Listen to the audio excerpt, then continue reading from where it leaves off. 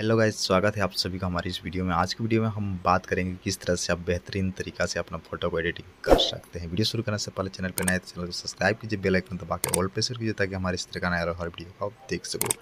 तो गाइस सबसे पहले आपको एक एप्लीकेशन का ज़रूरत पड़ेगा जिसका नाम है स्केच बुक जी हाँ गाइज़ स्केच बुक आपको सबसे पहले प्ले स्टोर में जाकर इंस्टॉल कर लेना है। उसके बाद गाइज़ इस एप्लीकेशन को ओपन करना सोलह आइकन से गाइज़ आपको एक फ़ोटो को सिलेक्ट कर लेना है। जो फ़ोटो को आप जो है एडिट करना चाहते हैं। सबसे पहले हम इसको स्मूथ इस करेंगे। जी हाँ गाइज़ स्मूथ करना है, जैसे कि यहाँ पर कुछ कुछ फुंसी या तो कुछ चीज़ें दिखाई दे रही है, उसको हटाना सबसे पहले। तो उसके लिए क्या करना है, यहाँ पर सबसे ऊपर बीच में देखेंगे आपको आइकन दिखेगा, सिंपली इसमें क्लिक करना है। क्लिक करते कुछ इस तरह का इंटरफेस दिखाई देगा। यहाँ गाइज़ आपको स्मूथ का ऑप्शन दिखाई देता है जैसे कि यहाँ पर आप देख पा रहे हैं। सिंपली इसमें इस वाला ब्रश को लेना है। और उसके बाद गए सबसे ऊपर राइट साइड सेटिंग में देखेंगे। सिंपली सेटिंग का ऑप्शन दिखाई सिंपली सेटिंग में क्लिक करना।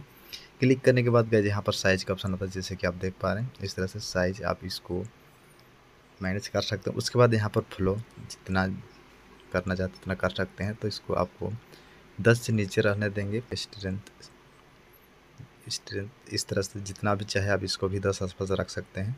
मैं अभी दस आसपास रखता हूँ। उसके बाद गैस सिंपली कुछ नहीं करना है। यहाँ पर आ जाना है पीछे और यहाँ पर आपको फ़ोटो जूम कर लेना है।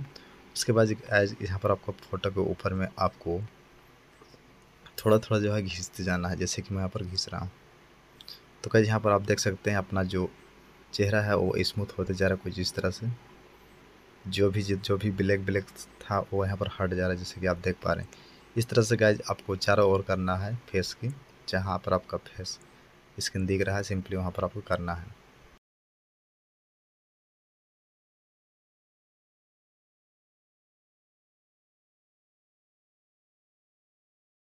उसके बाद गाइज़ इसको सेव करने के लिए सिंपली गाइज़ यहाँ पर आपको लेफ़्ट साइड में आपको थ्री दिखेगा सिंपली क्लिक करके यहाँ पर आपको गाइज़ एक गैलरी का ऑप्शन दिखेगा सिंपली गैलरी में क्लिक करना है। और यहाँ पर सेव करंट स्केच का ऑप्शन सिंपली यहाँ पर आपको क्लिक कर देना क्लिक करते ही जो फ़ोटो है वो सेव हो जाएगा।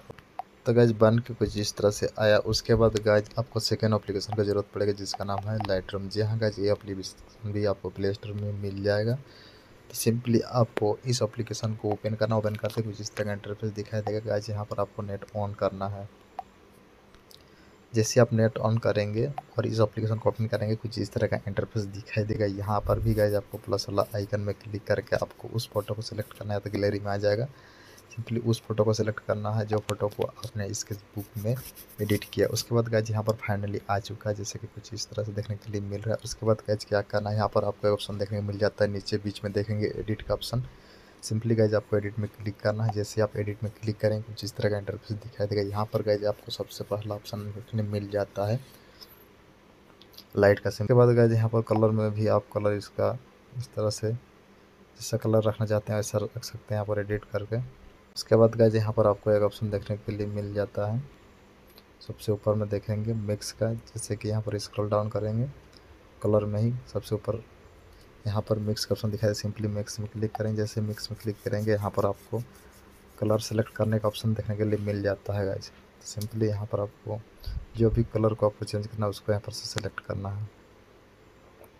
तो गैज मैंने यहाँ पर पहले से रेड को सिलेक्ट किया और रेड को कुछ इस तरह से चेंज करना चाहता हूँ तो आप पिंक देखने के लिए मिल रहा है देख सकते हैं यहाँ पर। आउट में भी देखेंगे। तो वाइट है, फिर इस तरह से पिंक रेड हो जाएगा इस तरह से। जैसे चाहेंगे उस तरह से आप कर सकते हैं। और इस तरह से आपको यहाँ से एडजस्ट कर लेना है।